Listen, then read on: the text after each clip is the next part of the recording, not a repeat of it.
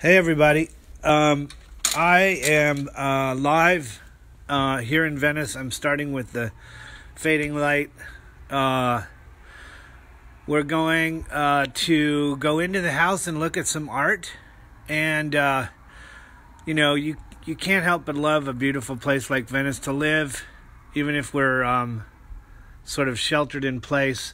But before the light gets too low, um, there's a couple of rooms that are uh, not as lit as well as the others, so we'll see if we can look at the work in there first. Uh, please disregard anything you see that's not directly related to this thing. This is my home studio. I'm uh, the light in here isn't great, but I'm gonna start with. I'm just gonna describe some of the work. Um, this is a photograph by Josh Bagel Classman uh, from Venice um, from 1982 or 3 we showed this at several shows. We showed it out in the street a couple years ago at the museum gallery in um, west adams district. We showed it at art palm springs and i love it. It's a really beautiful piece. Um, he's a total venice local.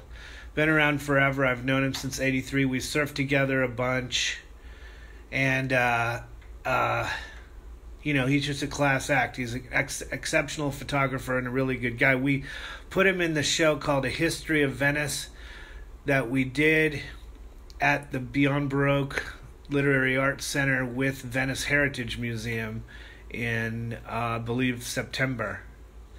Um, the next artist, this big painting here, this big artwork here, is a big resin piece that's from Terry O'Shea. He's a Venice artist too. He's passed away now. He I met him back in the 80s when he was still alive. We partied together and he was known for doing uh, resin pieces that were pretty amazing and his claim to fame uh, or what got him famous was in 1969 I think or maybe as early as 66 he was named by Maurice Tuchman at Los Angeles County Museum of Art. He was named um, um, young uh, young artist. They, he gave, got the Young Artist Award. They gave him two thousand dollars, and he had the he was given the opportunity to put one of the pieces in the in the gallery in the Los Angeles County Museum of Art, which is really conservative at the time. I'm going to go close so you can kind of see what it looks like. It's really beautiful anyway, so uh, he they didn't the LA County Museum of Art didn't understand his work, so to make a long story short, he um, they didn't take it for over a year, so he got mad. So he went over to the Los Angeles County Museum of Art and had two people watch him. Uh, and signed an affidavit, and I think was filmed by one of our local artists, uh, who MB knows, who should remain nameless that he's that he may have watched him do it. We don't know that for sure, but um, he threw the piece of work that the Los Angeles County Museum of Art didn't didn't accept into the La Brea tar pits, which is right next to the museum, which is owned by the museum, essentially. And then he put an affidavit on the wall of Los Angeles County Museum of Art saying, "Hey, now you own the work." So he was an interesting character and a really cool guy, and so we represent his estate. Um, this is a photograph of mine from I'll try to get the the um chandelier out of the thing, but that's a photograph of mine from 1977 of San Francisco when I was 16. I already had a career selling making photographs. Um, this art is uh, from Hung Viet Nguyen. He's um, a really wonderful artist who's been in a lot of museums. Uh, we're going to hopefully have a solo show of his work sometime in 2020 or 21 if we get our gallery back. And that is um, Hung Viet Nguyen. Uh, a lot of people know him. Uh, this artist here, very many many people know. She's sort of a Venice local in a way. She's lives in Malibu, but she's around all the time. Her name is Gay Summer Rick, and she shows over at the BG Gallery a bunch. And this uh, painting I bought from a show I did called Waterworks in 2014 when this was showing at um, the the Porch Gallery in Ojai. Um, this is Edmund Teske. Uh, Edmund Teske worked in Venice uh, he's long past dead now. He was one of my mentors, and uh, that's his signature there. And he um, he uh, was known for being the photog- favorite photographer of Jim Morrison and the Doors. So you'll see his work on the back cover of um, um, a couple back and front cover of a couple albums for uh, the Doors, and then this is um, yes, Sonny. I'll get the cough looked into. Um, it's not a dry cough, fortunately, and yes, I'm taking medicine. Uh, so um, I uh, so what happened was we we opened our gallery on February eighth.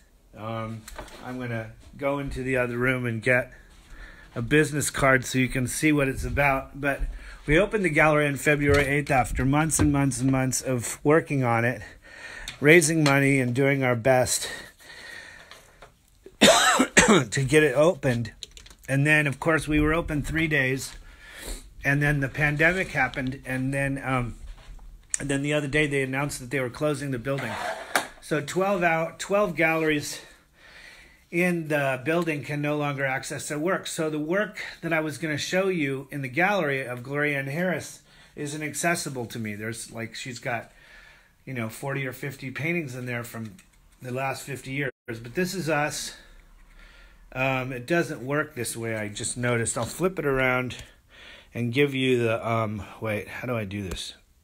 Um, I'm new to this, guys. Sorry. So that's our logo that's where we are going to be.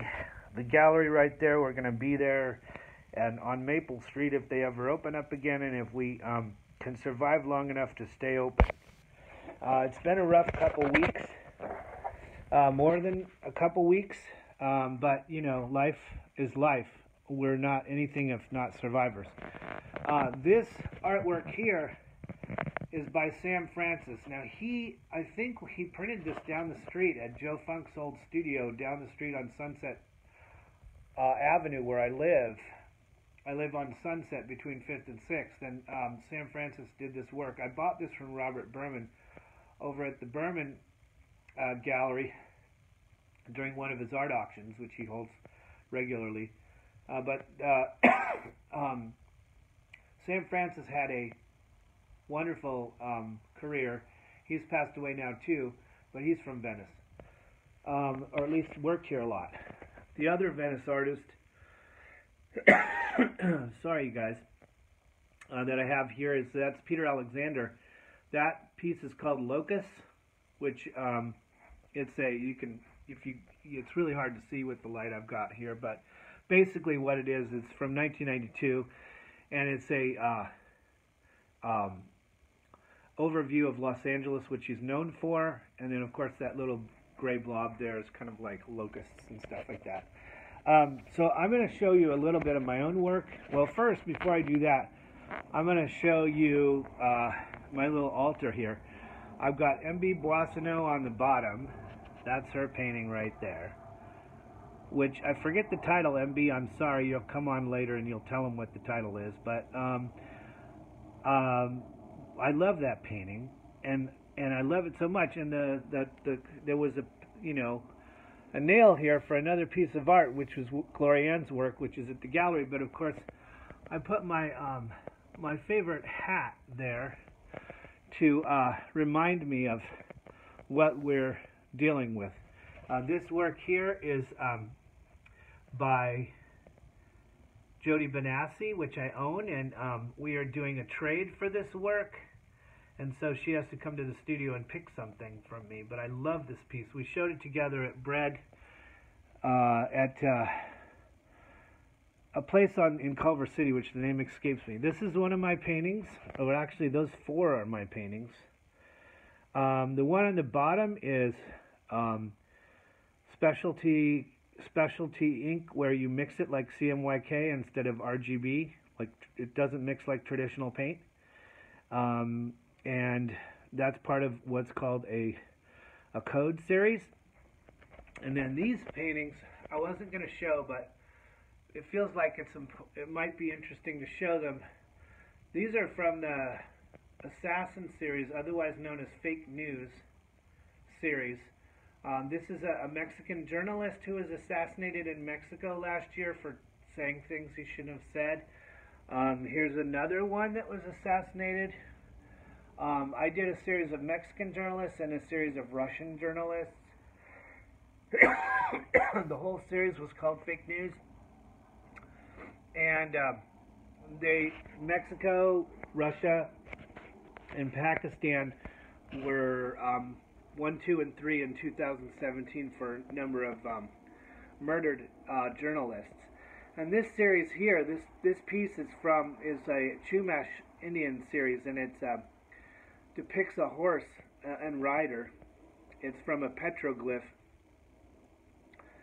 uh, drawing that May's son uh, had cut out of a piece of um, bra- uh, brass, or I don't know, I think it's brass. Anyway, she gave me this. Uh, son used to live in Venice. She had a place right down the street at Rose and um, Rose and Sixth. Um, you can see this here, and uh, uh, she she gave this to me, and so I use it a lot as a stencil in my work, and so at least lately, anyway. And so these works here happened within the last couple of months. They're basically um, studies of uh, this figure going through space through the. I'm so embarrassed. I'm so sorry. I'm gonna have to get something to drink to calm my cough. But um, um, these are all part of a series um, related to uh, the Chumash Indians and uh, the search for um, the search for uh, uh, I don't know um, yourself. I think uh, we're all kind of searching for ourselves sometimes, and sometimes you need to go off into space and figure where you are. Um, okay, I've just had a drink, so that helps. Um, this work, uh, let's see. This work here is by Billy Turtle, a, a very well known, was a well known Venice artist who just died this year. We've had the unfortunate, um, the joy and the unfortunate uh, uh, honor to show um, uh, five artists who've died from Venice in the last you know, we've showed them in the last two years, and five of them have died because we tend to often show older artists' work. Not all the time. We show a lot of younger artists' work too. We're trying to change that. Anyway, here here's another piece. That's like that's why we like working with Venice Art Crawl because we like to show younger artists' work who really care about what they're doing. So that's another piece by Billy Turtle. Um, this is a piece by Mike Street, which I love, which is related to Hollywood. He collected um, from his mom. He collected, uh, uh, you know, the the photographs that they would give you. Um, you know, if you were a Hollywood fan, they would sign them and stuff, and then he, his mom would get them in the mail, and then he did these drawings and stuff. Really beautiful piece. And then this piece here, you can look at many of these pieces on the website. The website is veniceica.org. So VeniceICA.org. V E N I C E I C A.org. Um, click on the arts page or exhibits and you'll see what we do. This painting here is from uh, Vilen Künnapu, who happens to be the what most uh, prominent architect in Estonia, where I'm from. And the work next to it, this uh, hanging piece, that's uh, Billy Turtle as well here's a um, mask from, I don't know where it's from, but somebody can tell me someday. This piece here is from, um, um, God, this perfect. My cough starts right at the time I'm doing this. This piece is from Joost de Jong. He's from the Netherlands. Um, here's another piece from the Netherlands. This is from Antwerp. Uh, no, that Antwerp is Belgium. So this is from uh, Belgium. This was given to me by Oscar Spierenberg as a gift for the film for putting him in the film festival that we do every year. Uh, this work here is by Stephanie Neffe from Sweden.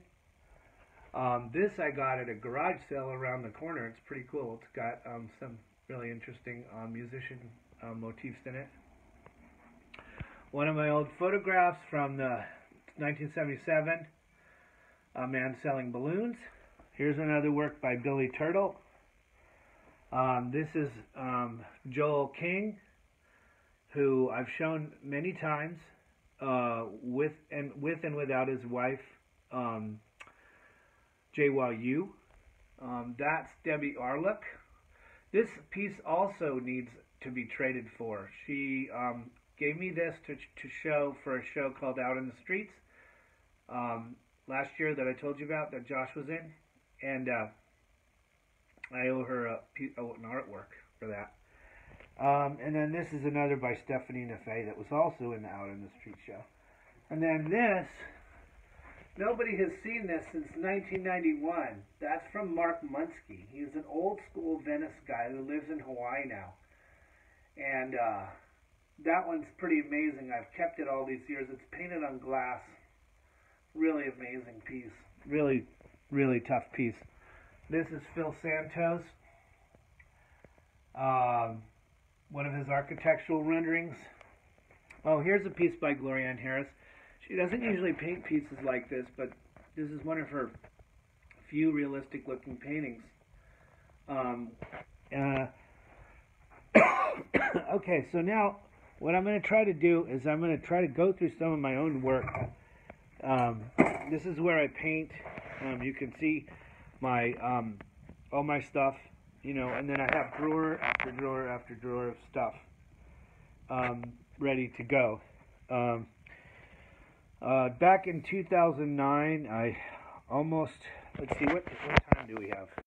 Okay, so back in 2019, uh, 2009, I almost went blind because I'm a premature kid and my um, I had to have surgeries and stuff, and so I started painting again, you know, like crazy.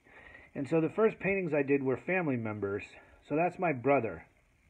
He happens to uh, run a, a business called Cole Guitars. This is done with watercolor, ink, and oil pastel on paper. And this is my father, my father passed away along with my mother within a month of each other. That's my mom. In 2013. And uh, that's the photograph I shot of my mom that I made the painting out of. um, let's see. And this is a drawing by my dad. That kind of expresses his personality pretty clearly. Uh, he also did this piece and he also left me uh, these pieces, which are on the ceiling, which are kind of like rubbings from India. And if somebody can help me identify them, I would love it because I have no idea what what they are. I know I moved the phone around too fast. I'm sorry. And then this is uh, I gotta get a good angle on that. That's David Patrick Valera, who's a cinematographer. I hope he still has his job at the studio, we're all losing jobs. I'm in the movie business too, so being in the movie business is really hard, really hard right now. Um, okay, so we're going to go through uh, just some paintings, and I'm just going to flip through them. And they're, they're very random. Some of them have not been titled, some of them have not been signed, but I can usually tell how they're oriented by the way I put the tape on them. Um, let's see. They're all ba- they're all generally they're ink, um, watercolor, and oil pastel generally, and these are all part of the what's called the Kud series, or there's an Estonian word that's hard to pronounce called Vitrazid, or something like that and they're basically drawings. They're they're my friend Gloria Harris, who you many of you know, calls them painted drawings, but I disagree. I, they're paintings. But um, you know, so anyway, these are the kinds of things I do. I have a bunch of them up here. Um, these are all part of a series that occurred for several years between around 2014 till around 2018. And they become studies and contemplations. Here's another abstract one. These are all, I think, around oh, um, I think they're around nine by twelve inches. They're fairly small, as you can see, but they have, you know, they have a rhythm to them. Often they're painted next to each other. Um, so, so sometimes uh, they can be seen. Here's a, here's one from another series that I did many of, which is redrawings of um, other drawings. So my dad was a, was an artist who liked to use pencil on paper, and so sometimes I'd redraw his drawings and then color them in, but do them much bigger. or I'd do drawings from like this one is from George Grosz, from uh, a book that I have of George Grosz's work. So this would be like Berlin 1920s, you know, sort of derivation. And here's more from this other series. Um, there's also big ones, um, really big ones. I'll have to hold it up and see if I can make it work. I'm new to this game, sorry guys. But there's a lot of big paintings that are all very unusual and weird and cool, some of them. Many of these have never been seen before, or at least very rarely. Um, they're fun to do. They're they give me some zen, and they they relate to each other. They're part of they're puzzle pieces that are eventually going to be taken apart and then put in, put back together. Obviously, these last five or six are uh, similar motifs, all painted one after the other in the same way. These are a different series that had a lot to do with hard angles and diamonds and stuff. Um, and um, there's another series which involves a signature that I use. You may have noticed a repetitive shape. This uh, this signature here, this sort of motion right to left. That's something I've been doodling since I was a kid. so I decided to do a series of paintings about it. And so they have a lot of movement and a lot of action and they're, you know, I I'm talking too much. I prefer to let the work speak for itself, but one never knows how much one should say with new people in the room. Um, and so, as you can tell, I'm a color person. I really like color. I like stories. Uh, these, you can tell, are obviously all connected to each other in some way. Um, they were usually painted next to each other and then split apart. Um, so there's, you know, hundreds and hundreds and hundreds of these things. Um, it doesn't matter the quantity.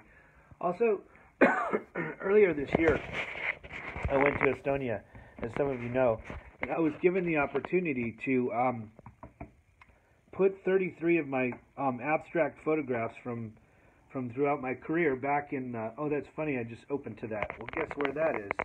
That's the Venice Skate Park. Uh, so, um, what happened is a friend of mine, Renee, who's a very well-known music promoter and music consultant, wrote this book called "You Are the Influencer," which is right now I think it's in the top 20 on Amazon for uh, Kindle and stuff like that. Anyway, um, uh, he asked me to do put to make some placeholders, like sort of like chapter heads that didn't illustrate anything, just sort of like things for people to think about while they were thinking about the next chapter. That's Joshua Tree. And um, and so I gave him, you know, I went through my catalog and I gave him a bunch of them, and he picked some. That's uh, that's uh, let's see, let's get the shine off of it. That is um, the Annenberg, which is closed now, of course. Uh, that's the window outside my house. Um, anyway, the bottom line is he asked me to do a bunch of a bunch of artworks, and so I did. This is um, this is uh, the tent above um, a studio down the street that Bill Attaway used to have a studio next to. Um, right, right, the same place where Sam Francis did his thing. How much? How many minutes? So I'm gonna have to cut this short soon. But um, um, also there's another book that um, uh, Renee did that none of you can read, I'm sure, because it's Estonian. There's only like a thousand, you know, a million of us who read Estonian, and it's not. I'm not one of them. But there's a whole bunch more of these abstract photographs in there. well, look, if I don't die before uh, this thing is over, I'll be amazed. I'm kidding. I'm feeling fine, but it just it, this just happens at night sometimes. Um, I, oh, I forgot this this work here, this arrow that's sitting on the piano. That's by Cosimo Cavallaro, and um, I'll show you another one. He's really a fantastic artist. They did a documentary about him a couple times, and he had a show at Jason Vass not too long ago. Um, but that's another arrow. It's made out of stainless steel, and it's blue if you can see the color. It's hard to see. And then this this painting here, um, that is the first painting I sold in 1989 uh, to a guy named um, Egg Mahan who used to be a mime and now he's a real estate guy in Venice. Um, but then he had to move, and so he gave it back to me on loan. So I don't know what the status of this painting is, but I was very happy to sell it to him back in the day. That's Ron Terrio, who used to be one of our artists. I love him to death. That's one of my paintings on there, up there on the top. Um, rolling through. Let's see. Is there anything I should show you guys? Um, that's Estonia. 1941, that's one of my paintings of levitated mass. Uh, this is a painting by August Künnapu, who is Vilhelm Künnapu's son, also a fantastic painter. Here's here here's me with uh, Frank Gehry when we did a uh, documentary about Lily Fenichel, who also lived here in Venice, as Frank did. There's um, Brigitte Bardot. There's a Stuart Rappaport right there. In fact, there's a Stuart Rappaport uh, right there, which is his uh, intaglio work. Um, yes, it's upside down. It's supposed to be. It's a sunflower, and it's a fantastic piece. Um, I'm going to go into the. Oh, there's John Baldessari. Let's have a few seconds of silence from John Baldessari, one of our great uh, teachers, mentors, and artists who I love to death. He was one of my teachers at Cal Arts. Uh, you know, Venice is an important place for me. I've been living here since 1981.